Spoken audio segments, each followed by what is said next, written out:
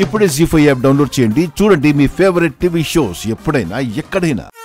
రెండు పుష్కరాల కాలంలో అమ్మవారి ప్రతిష్ట జరగాలి.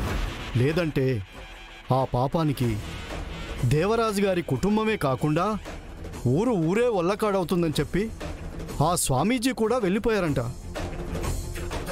ఆ స్వామీజీ చెప్పిన సమయం ఈ వారంలో జరగబోయే అమ్మవారి జాతరే బుజ్జమ్మగారు అవెక్కడున్నాయో తెలియకుండా ఏం చేయగలం? ఎలా కాపాడుకోవాలి? ఎలా కాపాడుకోవాలి? ఎలా కాపాడుకోవాలి